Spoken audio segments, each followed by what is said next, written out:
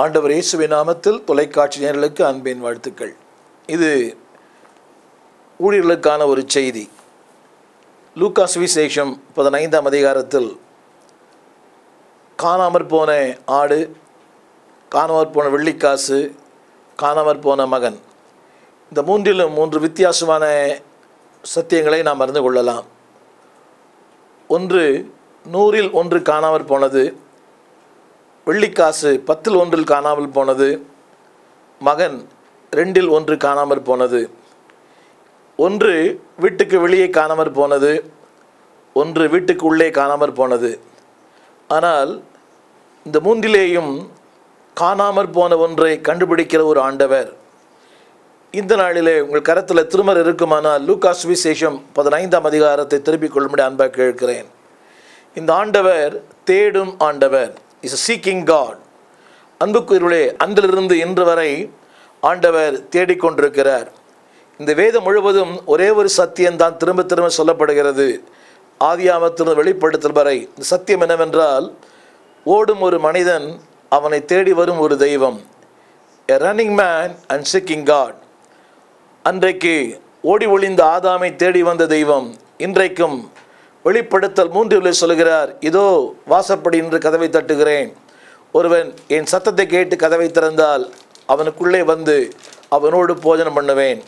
வேதத்தில் எல்லா இடங்களிலேயும் சொல்லப்படுகிற அடிக்கடி பயன்படுத்தப்படுகிற வார்த்தை அவர் தேடும் ஆண்டவர்.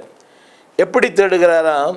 ஆண்டவருடைய தேடுதலிலே is very active and also is very energetic அவர் தேடுதலிலே கொஞ்சம் கூட ஓய்வில்லை கொஞ்சம் கூட தொய்வில்லை. அவர் ஓய்வின்றி தேடுகிற ஒரு தெய்வம் தொய்வின்றி தேடுகிற ஒரு தெய்வம். இன்றைக்கு அன்புக்குரிய ஊழியர்களே இன்றைக்கு நம்முடைய பல தேடுதல்களிலே சோர்ந்து போகிறோம். சில நேரங்களிலே ஊழியங்களிலே திருச்சபையின் வாழ்க்கையிலே விசுவாச மக்கள் வாழ்க்கையிலே நாம் சோர்ந்து போகிறோம். காரணம் என்னவென்றால் நம்முடைய தேடுதலிலே அடிக்கடி தொய்வு ஏற்படுகிறது. ஆனால் இங்கே ஒரு மூன்று வார்த்தைகளை நான் சொல்ல விரும்புகிறேன். லூகாஸ் விசேஷம் பதினைந்தாம் அதிகாரத்தில் நான்கு. உங்களில் ஒரு மனுஷன் நூறு ஆடுகளை உடையவனாயிருந்து அவைகளில் ஒன்று காணாமற் போனால் அந்த தொண்ணூற்றொன்பது ஆடுகளையும் வனாந்திரத்திலே விட்டு. காணாமற் போன ஆட்டை கண்டுபிடிக்கும் அளவும் தேடித் தெரியானோ? இது அடிக்கடி பேசப்படுகிற வார்த்தை படித்து படித்து பழகி போன வார்த்தை. இதில் ஒரே ஒரு வார்த்தை தேடி கண்டுபிடிக்கும் அளவும். ஆங்கில வேதாமத்தில் அன்டில் இ ஃபைண்ட் தேடி கண்டுபிடிக்கும் அளவும். அப்படியானால் அந்த நேரத்துக்கு முன்பு வரை அவனுடைய கரத்திலே தொண்ணூத்தொன்பது ஆடுகள் இருந்தது. ஆனால் அவைகளை குறித்து அவனுக்கு பாரம் இருந்தது. ஆனால் அதில் அவனுக்கு மகிழ்ச்சி இல்லை. காணாமற் போன ஒன்றிலே அவனுக்கு பாரம். நான் சொல்லுகிற ஒரு வார்த்தை என்னவென்றால் அன்புக்குரியவர்களே இந்த ஆண்டவர் இந்த மெய்ப்பன் செயல்படும் ஒரு மெய்ப்பன் ஆரம்பத்தில் சொன்னேன் is a seeking God and also is a speaking God அவர் தேடும் ஆண்டவர் அவர் பேசும் ஆண்டவர். இதில் ஒரு வார்த்தை எழுதப்பட்டிருக்கிறது அந்த தொண்ணூத்தொன்பது ஆடுகளையும் விட்டு இன்றைக்கு அன்பானவர்களே அதனுடைய கருத்து என்னவென்றால் ஒன்றுக்காக தன் வாழ்க்கையை தன் ஜீவனை தன் நேரத்தை நான் சொல்லுகிற ஒரு வார்த்தை கண்டுபிடிக்கும் அளவும் அதான் என்னுடைய செய்தி இன்றைக்கு. அப்படியானால் அவன் கண்கள் அவன் இருதயம் அவன் ஆசை அவன் நோக்கம் அவன் சக்தி அவன் நேரம் அத்தனையும் கண்டுபிடிக்கும் அளவும் தமிழ் வேதாமம் சொல்கிறது தேடி திரியானோ. அன்புக்குரியவர்களே இன்றைக்கு ஊழலாக இருக்கிற நமக்கு ஓரளவுக்கு வசதி இருக்கிறது வாய்ப்புகள் இருக்கிறது மக்கள் ஓரளவுக்கு வருகிறார்கள் நம்முடைய வாழ்க்கையின் தரம் உயர்த்தப்பட்டிருக்கிறது. அநேகர் சொல்வது போல எப்படியோ வண்டி ஓடுது ஆனால் அதெல்லாம் நம்முடைய வாழ்க்கை நோக்கம் அதாவது காணாமற் போன ஒன்றை தேடி கண்டுபிடிக்கிற அளவும் தேடி திரியானோ? இங்கே நான் சொல்லப்படுகிற வார்த்தை என்னவென்றால் அன்பானவளே இந்த மெய்ப்பனுக்கு தூரம் ஒரு பொருட்டு அல்ல. நான் சொல்ல வரும் முதல் குறிப்பு என்னவென்றால் அதை கண்டுபிடிக்கும் அளவும் நோ ஜாய் அவன் வாழ்க்கையிலே மகிழ்ச்சி இல்லை சந்தோஷம் இல்லை ஆனந்தம் இல்லை அவன் வாழ்க்கையிலே கழிப்பு இல்லை. இரண்டாவது நான் சொல்ல விரும்புகிறேன் நோ எக்ஸிட்டேஷன் அதாவது அதை எங்கே கண்டுபிடிப்பது? அது எவ்வளவு தூரம் போய் இருக்கும்? எந்த இடத்தில் இருக்கும்? அதை பற்றி அவனுக்கு அக்கறை இல்லை. அது எங்கு போனாலும் அது எவ்வளவு தூரம் போனாலும் அது பகலானாலும் இரவானாலும். என சொல்ல விரும்புகிற வார்த்தை பகலிலே கண்டுபிடித்தான் இரவிலே ஓய்வெடுத்து கொண்டான். இல்லை அன்பானவர்களே தேடி கண்டுபிடிக்கும் அளவும் தேடி திரியானோ? அப்படியானால் அவருடைய உழைப்பு அவன் நேரம் அவன் சக்தி அவனுக்கு இருந்த ஆற்றல் திறமை அத்தனையும் அந்த ஒன்றுக்காக தன் வாழ்க்கையை பணைய வைத்தான். இந்த நாளிலே என்னை கேட்டுக்கொண்டிருக்கிற என் அன்பு ஊழியரே என் அன்பு சகோதரனே என் அன்பு சகோதரியே ஏதோ திருச்சபைக்கு வருகிறோம் போகிறோம். இன்றைக்கு எல்லா சபைகளிலேயும் பார்வையாளர்கள் அதிகம் பங்குதாரர்கள் மிக குறைவு. பிரம்மாண்டமான சபைகள் கூட மக்கள் ஏதோ ஆலயத்திற்கு செல்ல வேண்டும் ஆராதிக்க வேண்டும். அதோடு கூட தங்கள் வாழ்க்கை முடிகிறது. இல்லை அன்பார்களே திருமறை சொல்லுகிறது ஆத்துமாக்களை ஆதாயம் செய்கிறவன் ஞானம் உள்ளவன் அப்படியானால் யார் ஞானம் உள்ளவன் ஆத்துமாக்களை ஆதாயம் செய்கிறவன். அப்படியானால் ஆத்துமாக்களை ஆதாயம் செய்யாதவன் ஞானம் இல்லாதவன் இப்படி சொன்னவங்களுக்கு புரியும். இஸ் அன் எம்டி மேன் அதாவது ஆத்துமாக்களை குறித்த அக்கறை இல்லாத ஒரு மனிதன் பாரம் இல்லாத ஒரு மனிதன். இந்த மேய்ப்பனை குறித்து எழுதப்பட்டிருக்கிறது இவனுக்கு அந்த காடு மேடு மலை கரடு முரடு வெயில் மழை இரவு பகல் எதை குறித்தும் அவனுக்கு கவலை இல்லை. ஆனால் ஒரே ஒரு கவலை ஆட்டை தேடி கண்டுபிடிக்கும் அளவும். இன்னொன்று சொல்ல நம்புகிறேன் எஸ் நோ ஆங்கர் அவனுக்கு இந்த ஆடு நம்ம விட்டு போய்விட்டதே அதற்கு என்ன கேடு செய்தேன் அதற்கு தேவை இது இன்னும் கஷ்டப்படட்டும் அது அலைந்து திரிந்து வரட்டும். இல்லை அன்பார்களே திருமறை சொல்கிறது அதை கண்டுபிடிக்கும் அளவும் தேடி திரியானோ? இன்றைக்கு ஊழியர்கள் சொல்கிற வார்த்தை அவன் எப்படி போனான்? அப்படியே வரட்டும். அவன் அலைந்து திரிந்து எங்குத்தான் வருவான்? ஒருவேளை அது உண்மையாக இருக்கலாம் அன்புக்குரியவர்களே. ஆனால் அதனுடைய உள்ளான அர்த்தம் என்னவென்றால் as a pastor as a shepherd உங்களுக்கும் எனக்கும் தேவை அந்த ஒரு பாரம் உங்களுக்கும் எனக்கும் தேவை அந்த ஒரு தொலைதூர தரிசனம். அதாவது அது கெட்டு திரிந்து வருவதல்ல அது கெட்டு அழிந்து வருக்கும்பாக அதை தேடி கண்டுபிடிக்க வளவும் அடுத்த ஐந்தாசனம் சொல்லுகிறது கண்டுபிடித்த பின்பு. எத்தனை அருமையான வார்த்தை. இ ஃபவுண்ட் இட் அன்புக்குரியவர்களே கண்டுபிடித்த பின்பு. இதிலிருந்து என்ன தெரிகிறது?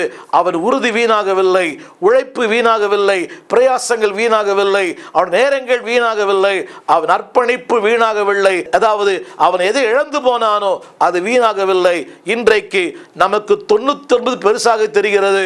அந்த ஒன்று அற்பமாய் தெரிகிறது. ஆனால் இவனுக்கு தொண்ணூத்தி ஒன்பது அற்பமாய் தெரிந்தது.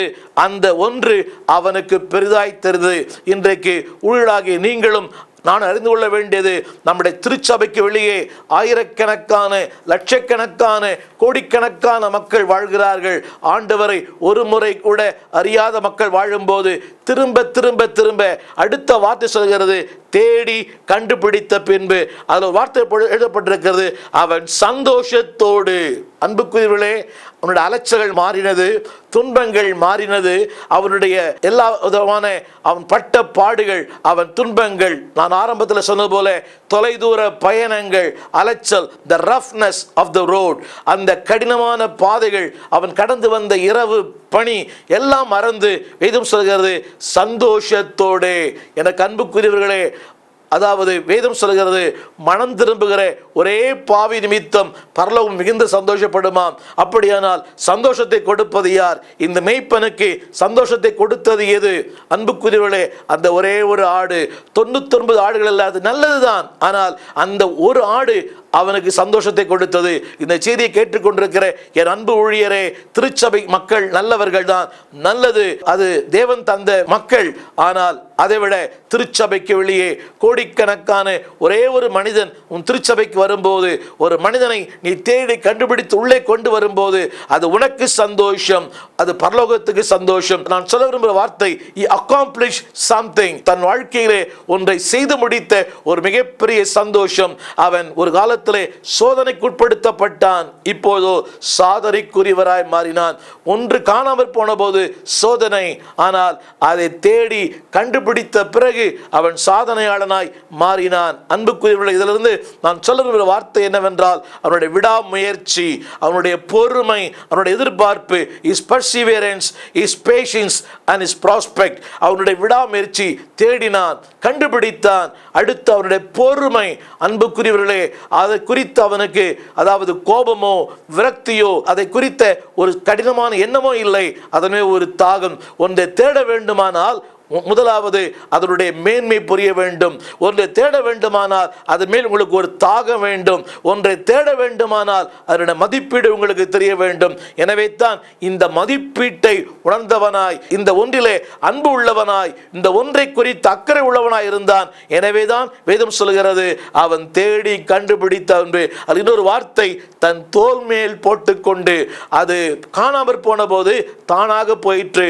நடந்து திரிந்து அலைந்து சிக்கி தவித்து அதனுடைய கால்களிலே காயம் ஏற்பட்டிருக்கலாம். அடுத்தவர்கள் காயப்படுத்திருக்கலாம்.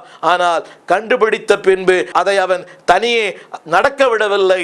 இன்னொரு வாகனத்தில் ஏற்றிக்கொண்டு வரவில்லை. தன் தோல் மேலே. அன்புக்குரியவர்களே ஏற்கனவே அவனுடைய களைப்பு அவனுடைய வருத்தம் நீண்ட தூர தொலை பிரயாணம் இரவு நேரங்கள் பகல் நேரங்கள் அழுத்து போயிருப்பான். ஆனால் ஏற்கனவே சோர்ந்து போனவனுக்கு இன்னும் ஒரு சுமை. ஆனால் இது ஒரு சுகமான சுமை. தன் தோல் மேல் போட்டுக்கொண்டு தன் தோல் மேல் சுமந்து கொண்டு வந்தானாம். யோசித்து பாருங்கள் நடக்க விடவில்லை. நடந்தால் சோர்ந்து போகுமே. ஒருவேளை இன்னொரு வாகனத்தில் ஏற்றினாலும் அதற்கு காயம் ஏற்பட்டு விடுமே. ஒருவேளை வேறு யாரால் கொண்டு போய் விடுவார்களே. இல்லை அன்பானுடைய தான் சுமந்த அரிக்கட்டுக்களை தான் விதைத்த விதைகளை தான் சுமக்கிறான் என்று எழுதியிருக்கிற நூத்தி இருபத்தாறாம் சங்கீதத்தை போல அந்த ஏற்கனவே பழுதுபட்ட கால்கள் பழுதுபட்ட உள்ளங்கள் ஆனால் இவை எல்லாவற்றையும் மறந்து தன் தோல் மேல் போர்த்து கொண்டு இதைத்தான் ஆண்டவர் செய்கிறார். இந்த நாளிலே அவன் அதை சுமையாக அல்ல அதை சுகமாக அனுபவித்தான். கடைசியாக நான் சொல்ல விரும்புகிற மூன்றாம் வார்த்தை தன் வீட்டுக்கு வந்தான். அன்புக்குரியவர்களே வாழ்க்கையின் அல்டிமேட் கோல் அல்டிமேட் பர்பஸ் இதுதான். தேடி கண்டுபிடிப்பதல்ல நித்திய வீட்டு கொண்டு வர வேண்டும். இன்றைக்கு ஒரு சின்ன கேள்வி நம்முடைய சபைக்கு வருகிற எத்தனை பேர் நித்திய வீட்டுக்கு போவார்கள்? யோசுவா குறித்து வேதம் அழகாய் சொல்கிறது அவன் தன் ஜனங்களை தன் சுதந்திர வீதத்திற்கு அனுப்பினான். யோசித்து பாருங்கள் இன்றைக்கு ஊழியம் செய்கிறோம் சபை நடத்துகிறோம். நம்முடைய சபைக்கு எத்தனை பேர் நித்திய வீட்டுக்கு செல்லுவார்கள்? எத்தனை பேர் பரலோகத்துக்குரியவர்களாய் மாறுவார்கள்? எத்தனை பேர் அந்த நித்திய வீட்டுக்குள்ளே கால் எடுத்து வைப்பார்கள்? கண்டுபிடிப்பது பெருசல்ல. அதை வீட்டுக்கு கொண்டு வந்து சேர்ப்பது மிகப்பெரிய பொறுப்பு. என் அன்பு ஊழியர்களே நீங்கள் சிறிய ஊழியரோ பெரிய ஊழியரோ அதாவது சபை நடத்துவது பெரிதல்ல உங்களுடைய ஆடுகள் அந்த நித்திய வீட்டுக்குள்ளே வர வேண்டும். அடுத்த வார்த்தை சொல்கிறது அதாவது சிநேகிதரையும் தன்னுடைய அயலகத்தாரையும் வரவழைத்து என்னோடு கூட சந்தோஷப்படுங்கள் என்பான். அன்பானவர்களே இந்த நாளிலே நான் சொல்ல விரும்புகிற வார்த்தை ஆபக்குகின் புஸ்தகம் ரெண்டு பன்னெண்டு சொல்கிறது ஜனங்கள் விருதாவாகவே உழைத்து அழுத்து போகிற இந்த உலகத்திலே தேவன் சொல்கிறார் நீ அவளை தேடி. இந்த நாட்களிலே நான் சொல்ல விரும்புகிற வார்த்தை உன்னுடைய விடாமுயற்சி உன்னுடைய பொறுமை உன்னுடைய எதிர்பார்ப்பு எல்லாவற்றுக்கு மேலாக சேர வேண்டிய இடத்துல அவளை கொண்டு போய் சேர்க்கிறது.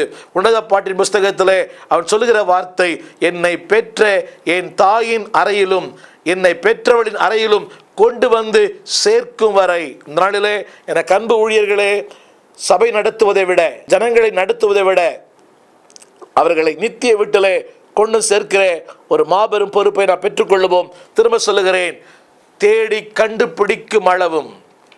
இரண்டாவது கண்டுபிடித்த பின்பு. மூன்றாவது தன் வீட்டுக்குள்ளே கூட்டி சேர்த்த பின்பு. இந்த மூன்று காரியங்களிலே அந்த மெய்ப்பெண் உழைத்தான். அவன் உடைய உழைப்பு வீணாகவில்லை. இந்த நாளிலே அந்த ஆண்டவர் உங்களோடு கூட இருக்கிறார். உங்கள் ஊழியங்களிலே உங்களையும் ஆண்டவர் சந்தோஷப்படுத்துவார்.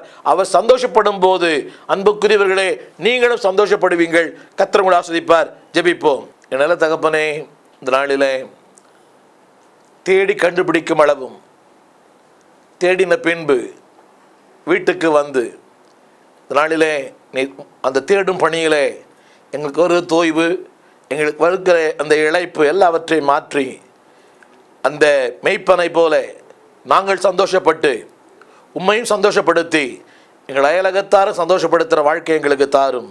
விடாமுயற்சி அர்ப்பணம் ஆண்டவரே எதிர்பார்ப்பு இவைகளோடு ஊழியம் செய்ய உதவி செய்யும். இயேசுவின் நாமத்தில் நல்ல பிதாவே.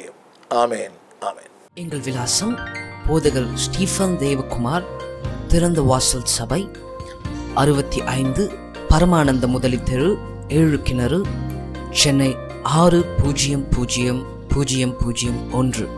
எங்களுடைய தொலைபேசி எண் இரண்டு ஐந்து இரண்டு எட்டு ஒன்று ஒன்பது எட்டு ஐந்து.